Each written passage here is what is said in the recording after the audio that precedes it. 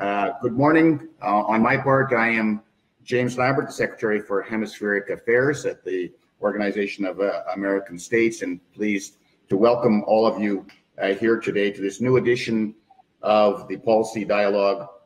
Balance of Power and the Safeguarding of Democracy Reflections on the 20th anniversary of the adoption of the Inter American Democratic Charter.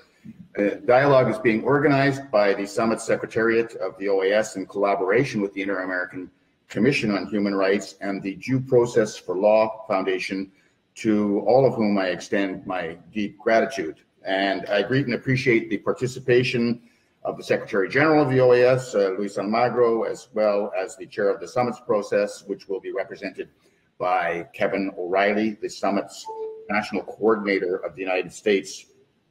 I also extend greetings to Francisco Guerrero, my colleague, the Secretary of Strengthening Democracy, who will be present through a, a video, and Maria Celina Conte, who is the acting director of the summit's secretariat, and thank her and her team for making this session possible. And we're really pleased to be able to, to, count today as well with the participation of many recognized international experts, particularly uh, the moderator of today's dialogue, Katya Salazar, who is the executive director of the Due Process for Law Foundation. Once again, Katya, our, our thanks to you and your excellent panelists, including Trevor Munroe, the principal director of the National Integrity Action Jamaica's chapter of Transparency International, uh, Dr. Rodolfo Piza, uh, former uh, Minister of Government of Costa Rica and advisor to the Secretary General of the OAS, Mariclaire Acosta, who is the Director of Justicia Transicional Mexico and former Undersecretary for Human Rights and Democracy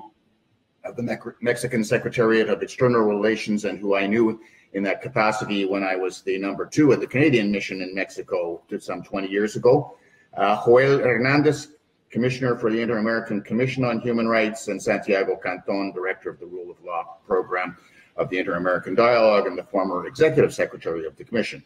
Well, the Charter is a historic document which was adopted in pursuit of representative democracy in the Americas. It represents perhaps the single most salient outcome of the summit's process, and particularly of the third summit of the Americas, which was held in Quebec in 2001. Today, we not only commemorate its 20th anniversary, but in light of the current context in the region, the Charter and its principles have become more relevant uh, than ever. And 20 years after its adoption, uh, it's useful to take stock of its application, of the new challenges that the democratic institutions in the regions face. Uh, today's difficult and turbulent context is marked by not only the consequences of COVID 19, but uh,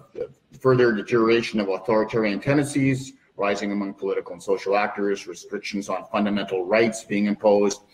new citizen demands expressed through social mobilization, political polarization, as well as health and economic crises that have amplified pre-existing social inequities. The session builds on a previous one that we hosted in May 2021 together with the uh, Summits Commission and the Commission on Judicial and Political Affairs of the OAS on Democratic Resilience. And the event is being broadcast on social media with simultaneous interpretation in English and Spanish, as well as sign language. And so Without any further ado, I would like to give the floor to the Secretary General uh, of the OAS, Luis Almagro, who is always eloquent in his support of the Charter and the values that it represents.